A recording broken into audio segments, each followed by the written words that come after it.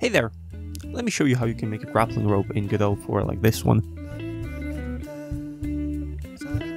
For starters, I'll be using my own character controller I worked on in the last two videos. It is based on the character controller body 3D node, so it is using forces to move the player. With that in mind, the grapple mechanic is quite simple to implement, since all it does is to move the player in the direction of where the hook is attached to. How can we figure out the hook location in the first person? For starters, let's add a raycast to the center of our camera. And in Ready function, we update the max distance for this raycast. The axis you apply the constant to will depend on your scene setup. In my case, the negative z-axis is the forward direction of the player. By calling the getCollider function of our raycast, we can figure out whether it collided with something. If it did, we can use get collision point function to get the position as a vector 3. We will also need a player position, and for that all we need is to access the position property of node 3D. Once we have the two most important values, we can use them to generate real-time mesh for the rope. For this, let's add a mesh instance 3D child to our main player node. Next up, you have to set the top level property of node 3D to true so that it ignores the parent transform. This is a crucial step, otherwise we wouldn't be able to rotate our player since it would also affect the mesh. Now let's go over rope generation script. Before I continue, I'd like to thank Sebastian Lague for the Super Man video involving verlet integration, as well as Entagma with the video on parallel transport. More on that in a second. From the two endpoints, we want to first initialize an array of all the points our rope will have. Think of them as segments that will be simulated. Those points will be represented using vector 3, and we can get them via interpolation like so. This function is only called once at the start of grappling. Afterwards, we will utilize verlet integration to update the position of set points. In layman's terms, we are going to change the position of the point based on the difference of its current and previous position, which we can technically think of as its velocity. This is basically a simplified version of a rope motion. Also, we are going to apply a bit of gravity to the rope. Don't forget to include delta time so that you don't run into FPS dependent simulation. After we move those points, we now need to constrain them so that they don't fall down infinitely.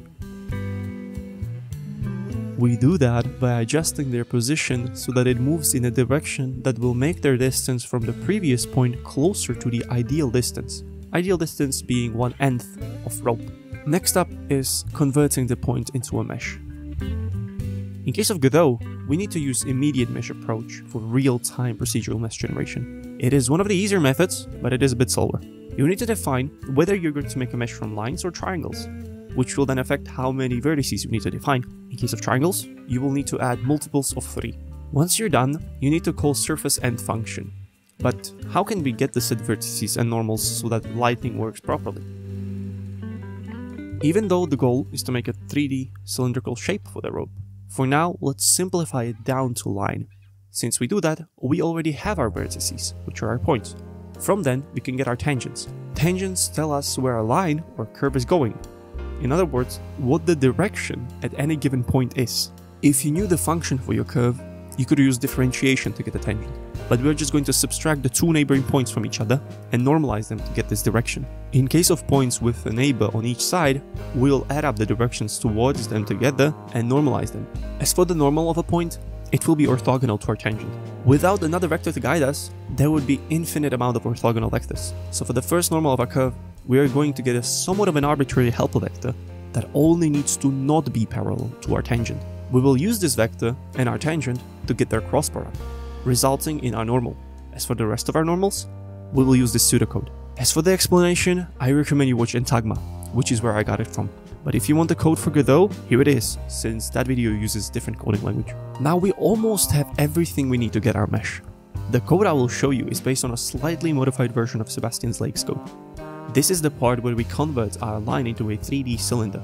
For every vertex, we're going to need our forward direction, which is tangent, our normal, and our bitangent, which is basically our left to right direction. Next up, based on how many sides we want our mesh to have, we're going to get the angle, and from that angle, we'll get our offset vectors that we need to apply to the center point. Then we store that point in our vertex array. Now for a little bit of math. Let's imagine that we're looking at our point in a 2D space. The forward is behind our center, and our normal is currently directly above it. Bitangent should be on the left if I'm not mistaken, but for the sake of explanation, let's put it on the right. If we make our cylinder with a square base, our angle will iterate over values by half, pi, pi times 3 half, and 2 pi radians. Here comes the explanation behind sine and cosine functions. First of all, an easy way to remember what ratio each of these functions represent is using the following abbreviations. SOH, CAH, TOA. The first letters are the function names, aka sine, cosine, and tangent. The other two letters represent which sides of triangle are we comparing. O stands for opposite, A is adjacent, and H is hypotenuse. Looking at this Pythagorean triangle, sine will compare the lengths of opposites to hypotenuse, cosine adjacent to hypotenuse, and tangent is opposite to adjacent. Or in other words, sine over cosine. Anyhow, since our normal is facing up, we will add the sine of our angle to it, because sine is telling us how much from minus 1 to 1 our angle is facing up.